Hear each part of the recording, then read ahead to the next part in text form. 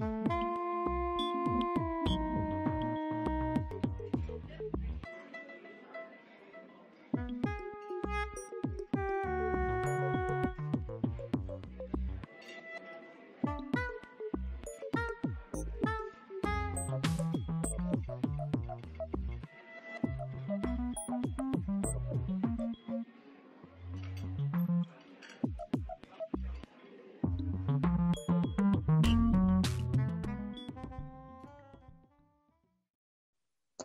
Hola, buenas noches, bienvenidos a este espacio de transmisión que desde la Facultad de Artes ASAB entregamos para toda nuestra ciudadanía, para el mundo entero que nos recibe gracias a la Internet, gracias a estas redes sociales como YouTube y gracias también a todas las eh, conexiones de redes que tenemos en Facebook, en Twitter, en todas partes nos reciben gracias a la señal de la Internet.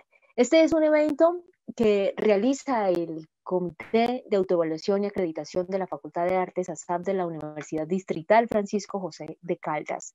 E2020 Creación desde casa, socializaciones de los procesos de investigación, creación de nuestros egresados de la Facultad de Artes ASAP. Aquí convergen artes escénicas, arte danzario, artes plásticas y visuales, artes musicales y la maestría en estudios artísticos. Hoy tenemos nuestra segunda presentación de este espacio de socialización, actividades de E20 de Casa. Iniciamos el 29 y hoy es un gusto presentarles a ustedes una investigación, creación, un proceso, conocer de este proceso de cementerios de cartón una proyección muy interesante, una investigación del maestro Leonardo Ruiz Aponte, egresado de la maestría en estudios artísticos. Hablaremos con él en unos momentos, conoceremos su, su propuesta y bueno, también estaremos dispuestos a conocer sus opiniones, sus comentarios, sus inquietudes también, porque sirve es bajo de ejemplo para muchas investigaciones, creaciones que está realizando muy seguramente ustedes en sus procesos académicos. Antes de iniciar, voy a darle la palabra a la maestra Marta Bustos, senadora de la maestría en estudios artísticos, quien da la apertura oficial de esta actividad en el día de hoy. Maestra Marta, bienvenida. Muy buenas tardes, un saludo muy especial a quienes nos acompañan en esta sesión del evento artístico y académico E2020, Creación desde casa, socializaciones de procesos de investigación-creación con egresados ASA. Hoy tenemos la oportunidad de compartir con Leonardo Ruiz Aponte, actor y director de teatro, quien compartirá en esta función conversatorio su trabajo de investigación-creación Cementerios de Cartón. Cementerios de Cartón es el resultado de una investigación que Leonardo realiza en la maestría en estudios artísticos de la Facultad de Artes de la Universidad Distrital. Y por ello me parece importante conversar y compartir con ustedes algunos aspectos de este campo que hemos llamado los estudios artísticos. En primer lugar, los estudios artísticos son un espacio de conocimiento inter y transdisciplinar creados desde el campo de las artes. En segundo lugar, son un espacio o un lugar para debatir y confrontar y enriquecer el significado de las prácticas artísticas y culturales, sus horizontes de sentido, sus supuestos, sus valores y su ubicación en el mundo contemporáneo. Tercero, son una plataforma para agenciar procesos de creación y formas simbólicas con incidencia social, donde se reconoce que la inteligencia racional es solo un modo más entre la pluralidad de modos de saber y conocer y que la experiencia de corte relacional, explicativa y objetivante no agota el espectro de la experiencia humana. Cuarto, son un territorio donde avanzamos de manera respetuosa en la creación de conocimientos sensibles, comprometidos ética, estética, epistémica y también políticamente con la vida. Ellos sin desconocer los legados de pensadores y de movimientos intelectuales, políticos y estéticos que desde diversas orillas eh, y con diferentes enfoques mm, y también con diversas herramientas han contribuido a afianzar la pregunta por lo político de lo cultural y el arte.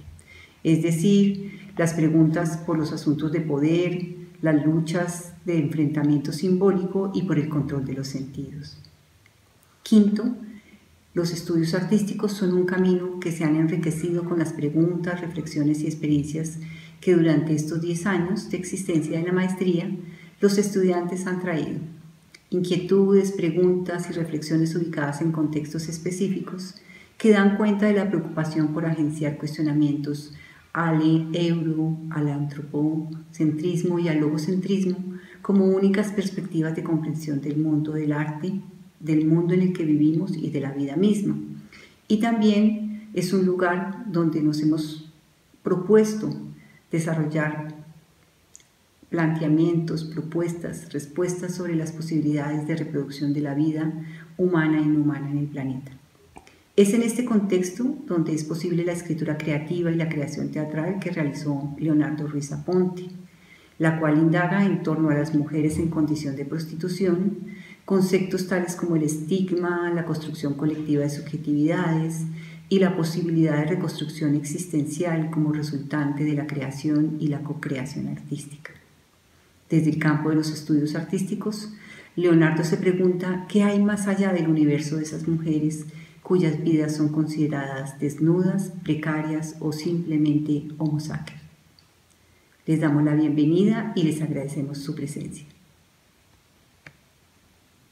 Gracias, maestra Marta Bustos, coordinadora de la Maestría en Estudios Artísticos, quien hoy nos hace esta presentación general de lo que produce precisamente la Maestría en Estudios Artísticos con sus egresados, que siempre están laboriosos investigando y creando.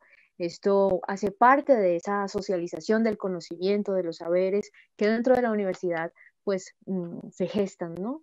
Y se trabaja.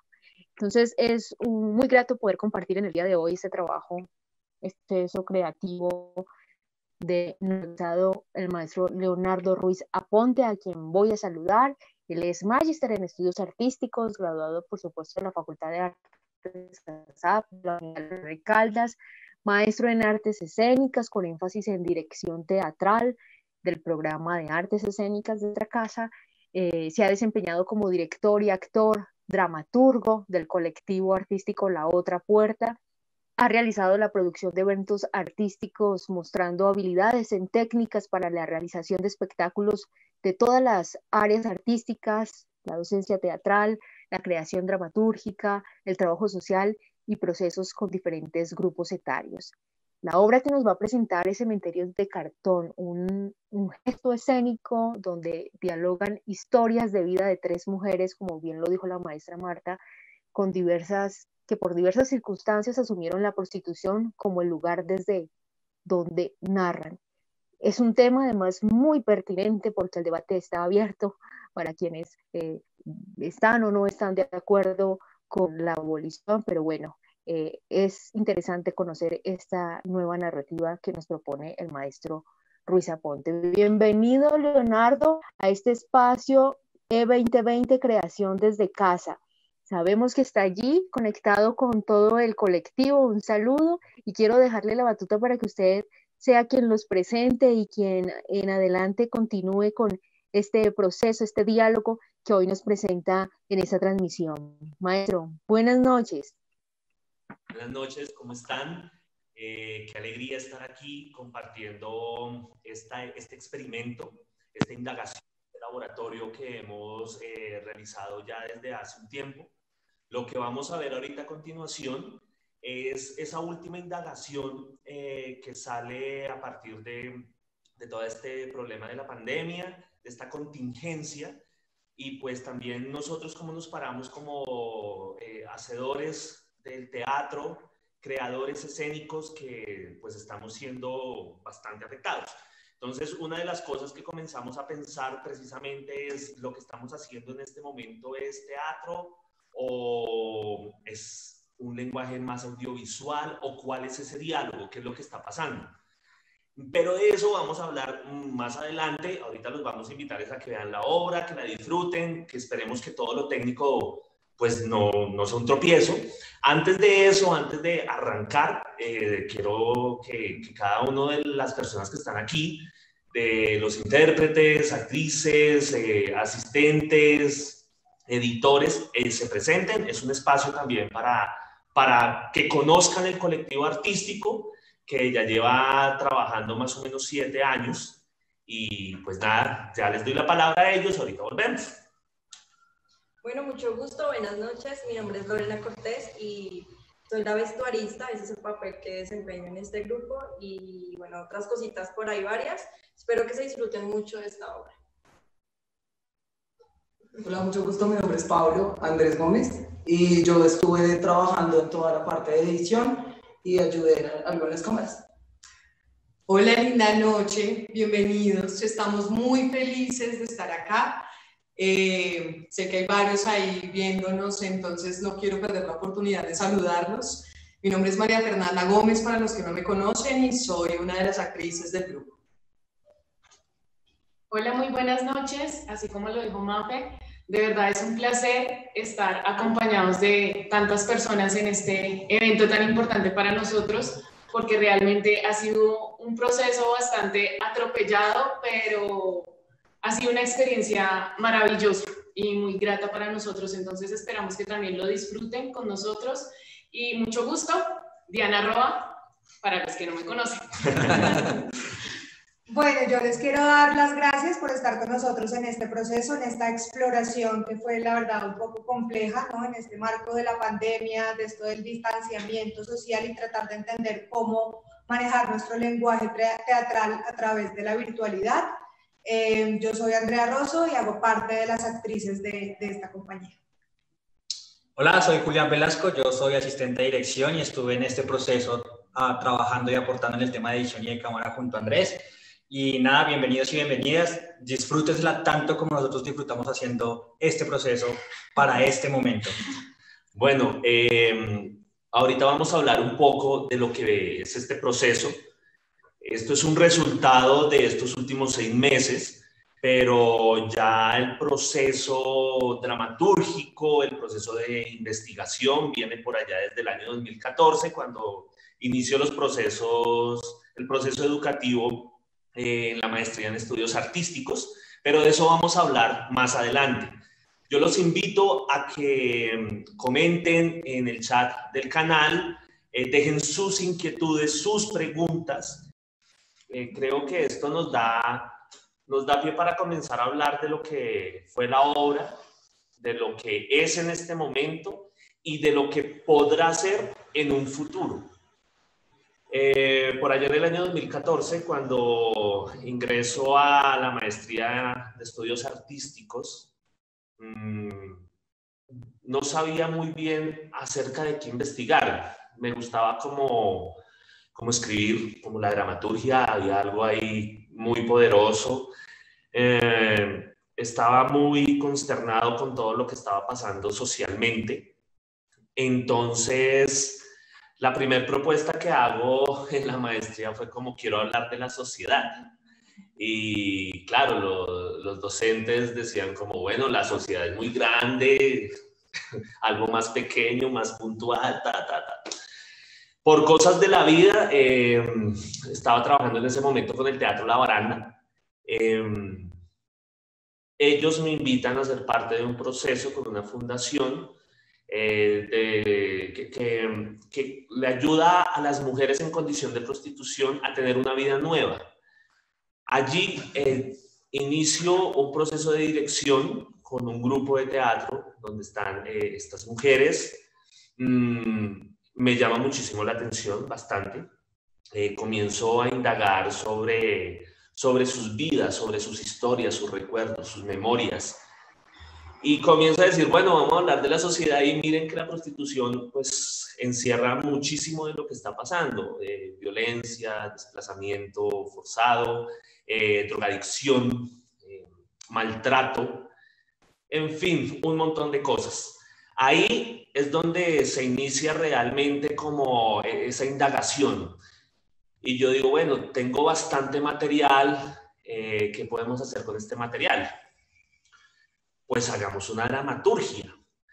Cojamos esas historias, no victimicemos más lo que ya está victimizado, sino comencemos a mirar qué podemos hacer porque somos artistas. No somos psicólogos, no somos psiquiatras, no somos médicos, somos artistas, entonces poeticemos esto sin eh, recaer en, en la pesadumbre. Entonces comencemos a ver el cuerpo de estas mujeres, sus historias, sus vidas, sus relaciones, eh, esas relaciones mm, con, con, la familia, eh, con el entorno, con sus lugares de trabajo y comienza pues eh, a, a, nacer esto.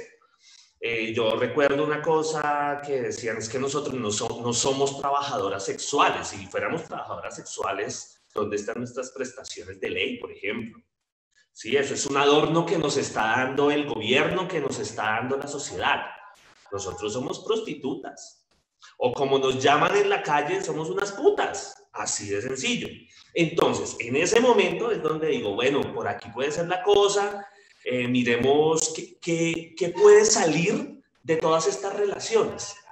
Entonces ahí eh, inicio con el proceso dramatúrgico, eh, comienzo a esbozar, a escribir pensamientos, una cosa, la otra. Eh, termino la maestría con un boceto gigante de lo que es la, la obra Cementerios de Cartón. Eh, luego de ello, mmm, con, iniciamos con el grupo con un proceso de indagación, un proceso de creación, un proceso de laboratorio a partir del gesto, eh, y pues de una pregunta muy, muy sencilla, pero muy profunda, que es cuando nosotros, como cualquier ser humano, hemos sido prostitutas. Así de sencillo. Ahí comienza toda esa indagación ya en la creación. El año pasado eh, tenemos eh, el estreno de la obra en la presencialidad. Mm, hacemos una temporada, tenemos otras funciones fuera y este año, eh, iniciando, teníamos como todo el proyecto real de, de irnos para, para otro lado, mostrar la obra, llegar a esa población, eh, llegar a todas las poblaciones y, hacer un poco conciencia de, de, lo que es esto. Pero pues entonces se viene la pandemia. Eh, todos encerraditos, cuidándonos efectivamente. Mm, y decimos, ¿y ahora qué vamos a hacer? Cómo nos vamos a reinventar como actores, directores, escenógrafos, vestuaristas. ¿Qué va a pasar? ¿Qué va a pasar realmente? Entonces, eh, mantenemos unas eh, conexiones en la red, hablando para dónde se puede ir esto, por qué tiene que ser esto. Y la pregunta que sale ahí es qué es lo que estamos haciendo. Es teatro, es cine, es audiovisual y pues obviamente nos comenzamos a dar cuenta que que somos actores de teatro, directores de teatro, y es un lenguaje completamente diferente, que obviamente tenemos una comunicación inmediata, porque hay algo que está trasegando, que está atravesando y transversalizando absolutamente todo, que es el ser humano. Así de sencillo.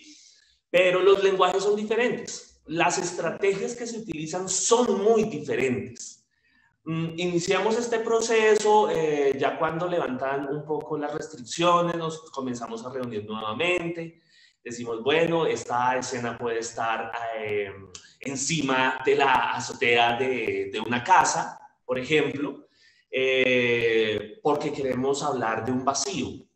Mm, pero también eh, queremos hacer unas indagaciones con 5, 6, 7 cámaras, 8, bueno, en fin, y después el problema es quién va a editar. ¿Sí? Y entonces le toca aquí a mi amigo Julián, Andresito, que son los únicos que tienen pues eh, esos conocimientos un poco profundos. Y, y miren lo que ocurre. miren lo que ocurre. Ahora que el sonido, no es que el sonido es todavía el sonido ambiente, hay, que aislar una cosa, hay que aislar la otra, Sí, claro, pero es que ese no es nuestro lenguaje. ¿Cómo hacer presente la presencia desde, desde esto que nos está condicionando? Porque nos estamos viendo, nos estamos escuchando, igual nos comprometemos a subir la obra al canal para que ustedes la puedan ver, para que puedan ver pues todo lo que hemos hecho, porque, porque es triste esto que pasa. Mm, entonces, nada, continuamos con esto salen, yo no sé cuántas horas de grabación, Juli. Un montón, un montón de horas de grabación para reducirlas, tomarle los mejores materiales, pelear con las actrices que son cerdas. Ay, Me encanta. Eh, y, y, tener un producto de una hora, eh, pues que no hemos tenido la fortuna de, de mostrarlo completamente como es. Por eso lo vamos a subir al canal. Eh, bueno, nada. Eh, la pregunta sigue ahí. Esto es teatro, esto es un lenguaje audiovisual que es, la técnica teatral está, la técnica teatral la conocemos, eh, seguimos indagando, seguimos mirando, pero no tenemos esa formación desde los medios audiovisuales. Entonces, ¿qué es lo que va a pasar? No sabemos qué es lo que va a pasar, pero tiene que pasar algo. O sea, si después de esto que ha ocurrido en el mundo entero con la pandemia, como seres humanos, como ciudadanos, no hay un cambio, pues entonces creo que hemos perdido eh, todos estos seis, siete meses que ya llevamos encerrados, que ya llevamos enfrentándonos a otras particularidades, ¿no? Eh, debe haber un cambio. Si el mundo cambia, pues el teatro tiene que cambiar el teatro tiene que cambiar. Vuelvo a decir lo mismo, está la base. La técnica la tenemos, la adquirimos, la estudiamos, la seguimos leyendo y releyendo y seguimos leyendo a Aristóteles y a un montón de autores. Pero, ¿qué es lo que va a pasar? ¿Cuál es nuestra apuesta como artistas escénicos, teatristas en este momento eh, para, para, que haya una evolución? Eh, ese es mi punto de vista, aunque yo sé que puede rayar con algunos, mm, con otros no, pueden estar eh, como enfocados en otras cosas, en decir después de esto vamos a seguir haciendo teatro igual. No, es que no puede pasar eso porque pueden venir otras pandemias, otras contingencias. Entonces, ¿qué es lo que va a pasar? Creo que ya es hora de, de, hacer un salto. ¿Cuáles? no sabemos, no sabemos. Eh, ya me voy a callar yo Quisiera, quisiera que las actrices que están, que se hablan, eh, hablen un poco del proceso. Eh, primero quiero darle la palabra a, Diana, que Diana tiene bastante que decir.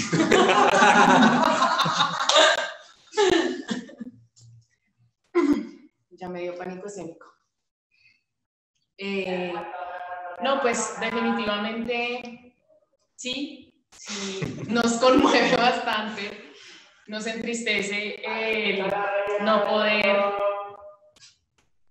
explorar este espacio con ustedes eh, por este tipo de contingencias y cosas que, que pasan, ¿no? Eh, en especial ahorita que dices, Leo, Diana tiene mucho que decir. Efectivamente. Eh, hemos tenido dos transmisiones de la obra y ninguna de las dos han podido salir mis escenas,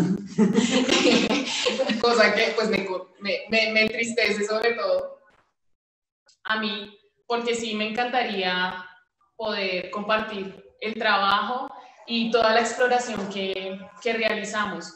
Eh, cuando nos dimos a la pena de empezar a trabajar desde nuestras casas, desde el encierro, pues yo empecé a recordar mucho cuando iniciamos con este proceso, cuando se empezó a montar la obra y todos esos laboratorios que realizábamos nosotros explorando, explorando cada escena. Y aún en el teatro, no sé si a todo mundo, pero por lo menos a mí me pasa que dices, hey, esta escena va en una habitación. ¿Cómo traigo al teatro una habitación?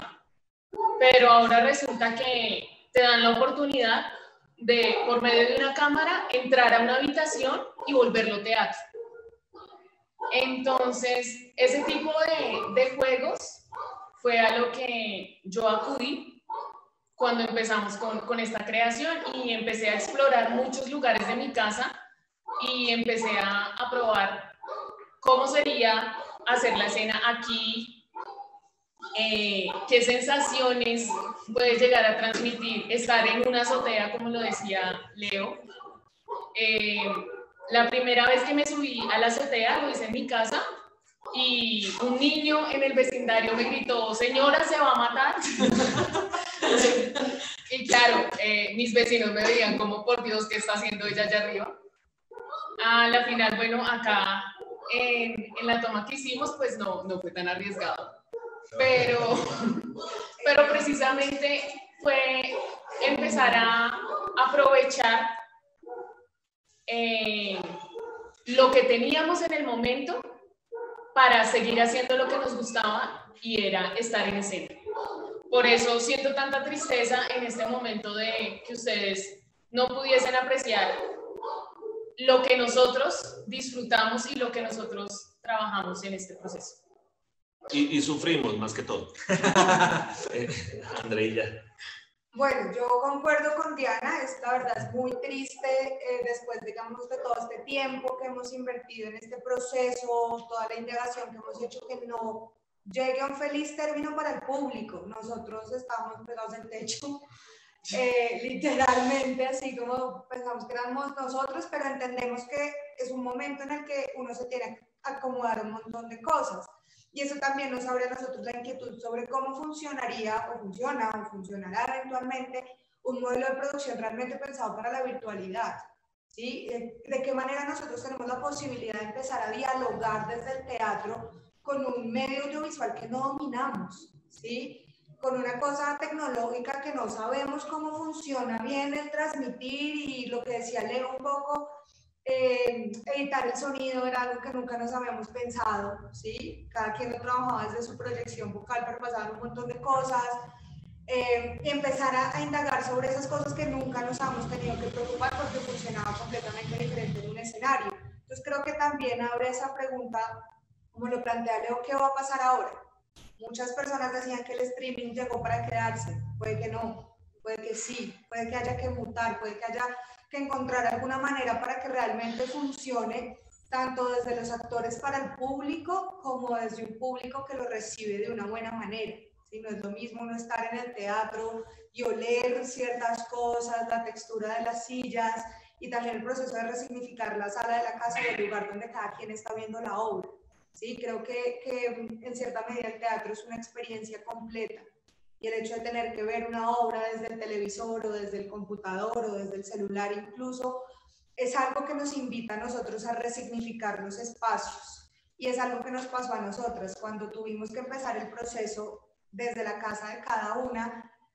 ¿Cómo resignifico yo, por ejemplo, el baño, que es como mi lugar personal donde todos los días entro sagradamente y ahora tener que hacer otro tipo de cosas, otro tipo de exploraciones, estar 40 minutos haciendo 58 tomas a ver cuál queda, sí, y el agua, y bueno, y la cuenta, pero son, ese, pero son ese tipo de cosas que nunca nos habíamos pensado, o sea, sí, bueno, uno entra a la ducha y pasa el texto, pero no, pero no es lo mismo grabarse ahí en un espacio que es tan, tan personal, sí, es una mezcla completamente diferente, como entra a transgredir completamente estos espacios y tenemos que encontrar como la manera en la que eso no afecte lo que estamos proponiendo, ¿sí? Literalmente es una invitación que nosotros les hacemos a ustedes a nuestra casa, a nuestra realidad. Eh, conocer mi casa, conocer la casa de Mafe, bueno, sí, son como un montón de invitaciones, pero que también a veces cuesta porque no estamos preparados para ese tipo de procesos. Y viene ahora la tecnología, ¿no? Entonces llega el COVID y toma que el Wi-Fi es todo un problema y transmitir es un problema tenaz, pero son cosas que nosotros no podemos controlar, pero son cosas que en este nuevo modelo de producción de espectáculos escénicos para la virtualidad tiene que tenerse en cuenta. Si no tienes Wi-Fi, si no tienes una cámara que tenga la posibilidad de, de captar lo que tú quieres comunicar, va a ser, va a ser muy complicado. Entonces creo que también este laboratorio nos permite a nosotros entender cómo eso tiene que ir cambiando, ¿sí? Claro, la discusión de si es teatro o no es una cosa supremamente compleja, ¿sí? No, mm, creo que en este momento no tenemos esa claridad si lo es o no lo es. Puede ser un lenguaje teatral traducido a o un intento de, ¿sí? Pero estamos en ese, en ese proceso y creo que Tuvimos la posibilidad de experimentarlo de una muy buena manera y en serio, en serio, les ofrezco mil disculpas al Wi-Fi. Bueno, ustedes saben cómo funciona esto, pero pues espero que realmente puedan ver y disfrutar la obra como nosotros la pensamos, como nosotros la concebimos y como la construimos para que ustedes la disfruten. Eh, María Fernanda Gómez.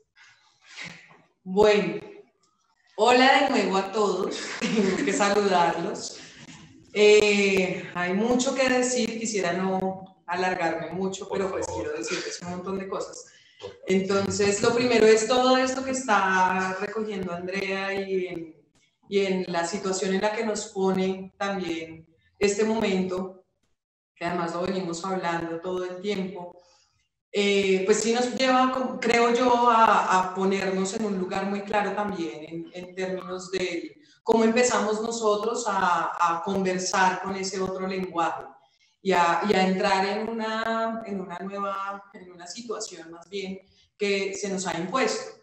Eh, pero que de alguna manera también veníamos nosotros intentando empezar a generar un diálogo entre las disciplinas, ¿no? Yo creo que hay un camino previo recorrido y es el empezar a hablar con la imagen, empezar a hablar con lo sonoro, que el grupo como tal ya se lo venía pensando y que de hecho fue la manera también en la que empezamos nosotros a, a experimentar en este proceso cuando se pensó para la presencialidad, ¿no? Entonces yo creo que también nosotros veníamos como en una cosa de, de empezar a conversar con otros lenguajes que no eran tan, tan, eh, tan cercanos a nosotros.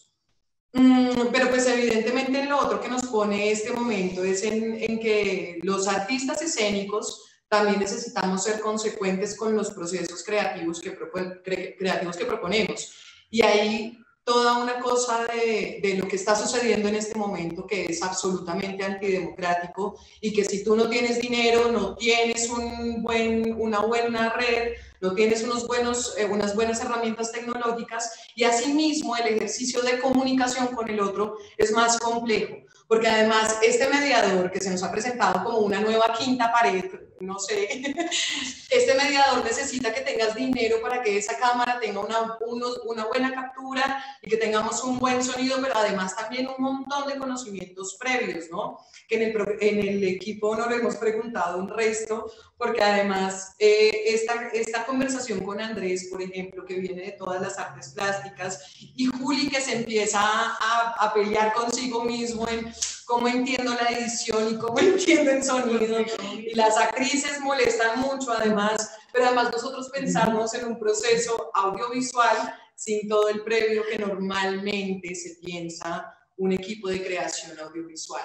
Entonces, eh, sí creo que, pues yo creo que es afortunadísimo lo que está sucediendo en este momento y creo que tanto ustedes como nosotros estamos viviendo pues el, el, el, problema de esto, de no tener unas redes sólidas, de que por ejemplo la universidad no cuente con una, una red profunda y potente para poder transmitir estas cosas muy bien y que, y que nosotros lo venimos viviendo en, muchas, en muchos lugares y en muchas esferas.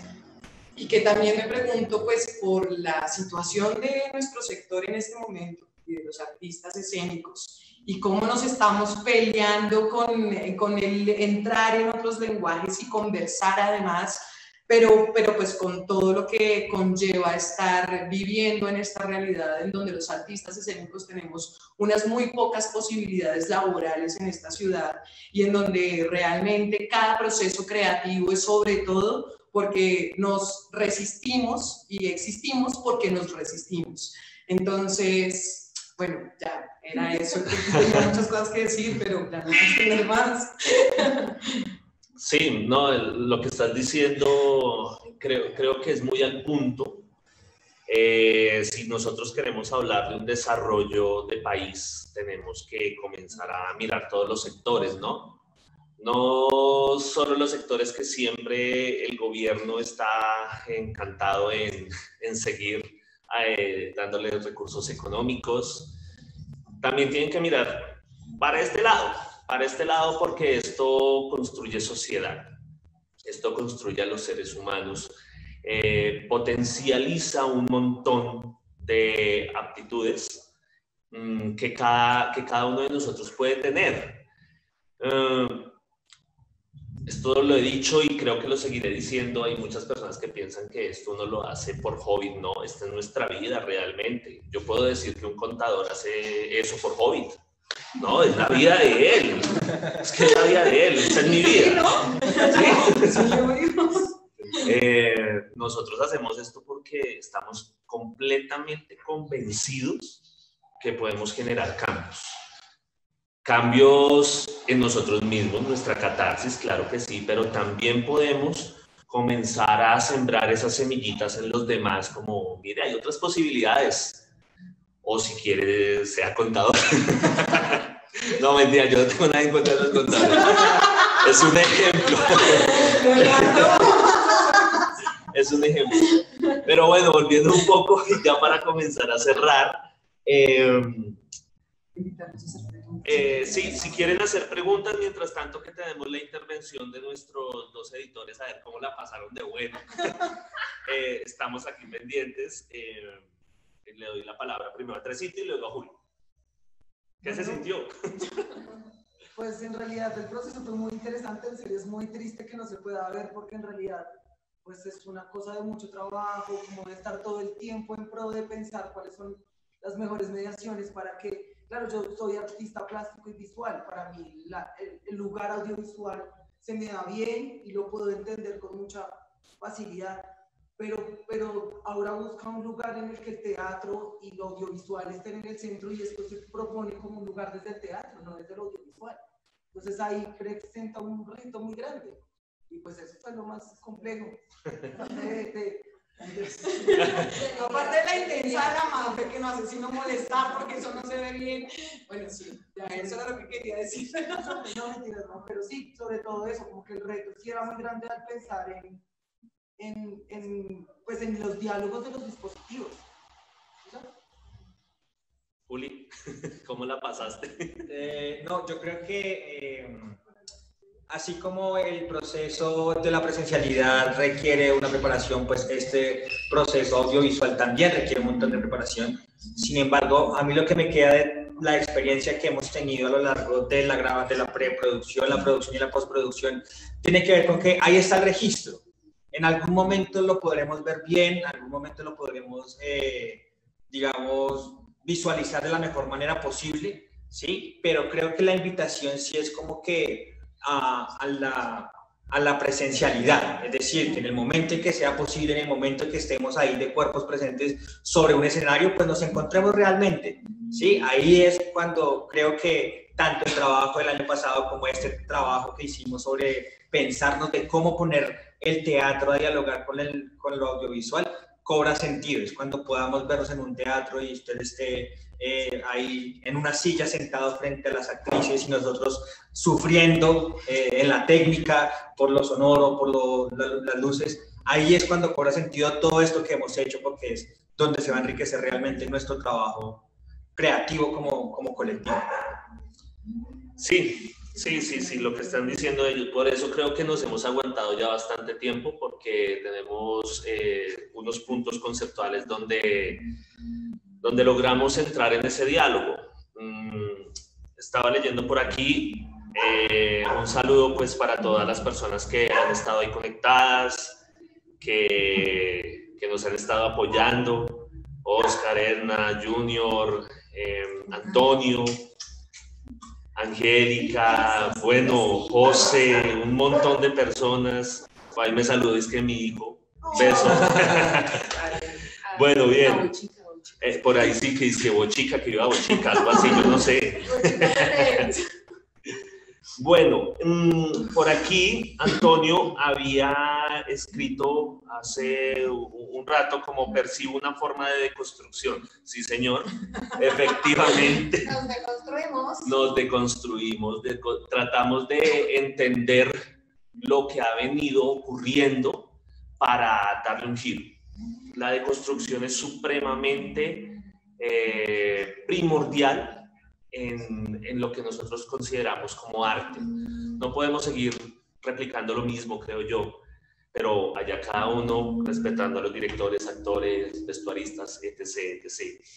Eh, bueno, un saludo para, para Junior. Junior, sí, Cero y van dos. La tercera.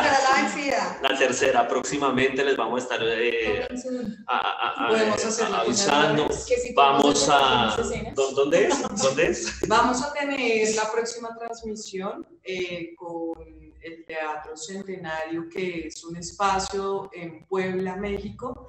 Entonces, los queremos invitar de nuevo, los invitaré siempre, además, para que puedan estar. Vamos también a tener un espacio de conversatorio, otro espacio, otro entorno, pero además nos unen un montón de cosas. Entonces, creo que esa conversación con ellos y este material y este proceso y este laboratorio que, que hemos nosotros eh, realizado va a ser muy propicio para, para, la conversación con ellos. Entonces, pues invitados a que, a que vean la próxima transmisión, les estaremos avisando por las redes del grupo y por las, nuestras redes personales también la, la programación de, de, ese encuentro que, que tendremos. Bien, para terminar aquí con los comentarios, eh, Marco Aurelio Torres, un saludo. Eh, nos escribe felicitaciones. Yo también creo en los cambios desde todo punto de vista y la suma de los cambios producen el gran cambio que todos queremos. Efectivamente, somos una sociedad, somos un colectivo,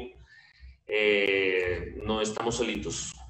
Antonio vuelve a escribir, Antonio está muy activo. teatro en video, teatro virtual, actuación usando el video, teatralidad mediatizada, ya no es teatro, es el video de una obra de teatro. Mm, me gustaría saber su visión.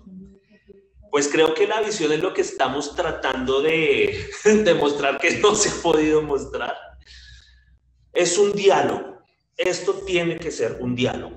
El teatro ya no puede ser eh, allá, el arte aparte, la danza aparte, las audiovisuales a otro lado. No, esto, esto está gritando desde hace mucho tiempo un diálogo interdisciplinar. Ahora la pregunta para todos nosotros es cuál es el medio, cuáles son los recursos. Esa es la, esas son las preguntas realmente. Mm, Francia está preguntando. ¿qué está preguntando Francia? ¿Cuánto tiempo tardó la escritura del texto? Uh. bueno, la escritura del texto 2014, 2015, dos años más o menos, o año y medio. La primera. La primera versión, la cual odié. Les gustaba a ellos, yo no sé por qué. Luego comenzamos ya un trabajo de laboratorio, a hacerle algunos unos cambios, unas modificaciones. Creo que todavía se está modificando. cada vez, cada ensayo, cada vez que aquí entre nos que una actriz no se sabe el texto, pues toca volver a cambiar el texto para que se sienta cómoda. Gracias, donde está escuchando Entonces, sí, pues eh, fueron esa primera versión, ese, ese, ese canovacho primario, año y medio más o menos, Francia. A ver, Junior, el arte responde a las necesidades de la sociedad y del tiempo en que se desarrolla. Gracias por la intención. Gracias por la intención. Eso dolió. Feo, feo, feo. Eh, muchas gracias, Francis. Junior, en serio esperamos la próxima vez poder estar con toda. Mm, y, igualmente, un agradecimiento a la Universidad Distrital Francisco José de Caldas, a la Facultad de Artes ASAP, al Comité de Autoevaluación y Acreditación y a, obviamente, como no lo voy a decir, a la Maestría en Estudios Artísticos. Ya para despedirnos, ya enseguida estamos cerrando frescos. Hoy es viernes y el cuerpo lo sabe. La pandemia también. La pandemia lo sabe. Eh, nada, le voy a dar la palabra a Mafecita para lo que tenemos que decir. Bueno, em, no queríamos eh, dejar pasar este encuentro con los que están en este momento y con los que verán esta transmisión. Em, eh, queremos hacer un homenaje a un egresado de la Universidad Distrital, Francisco José de Caldas, compañero nuestro del programa CREA, del el área de danza, Giovanni Ospina. Eh, queremos despedirte con un abrazo caluroso y mucha fuerza para tu familia en este viaje que emprendes. Mm-hmm. Eso era. Adiós, adiós. El sol se esconde ya. Adiós, adiós. La noche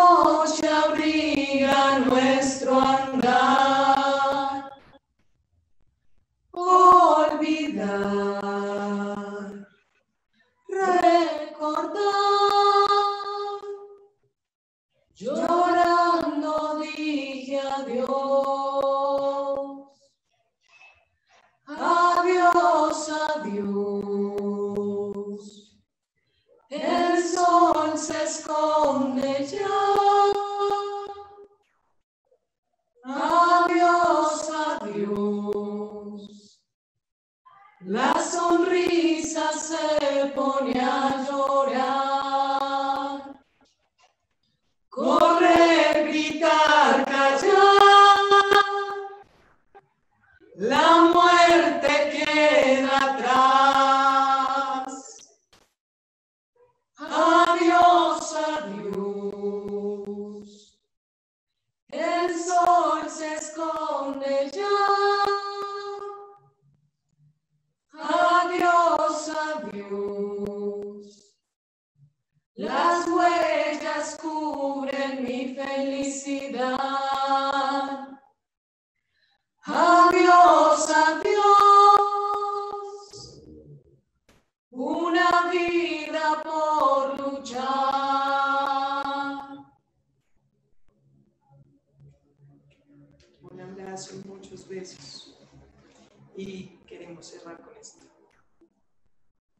Muchas gracias.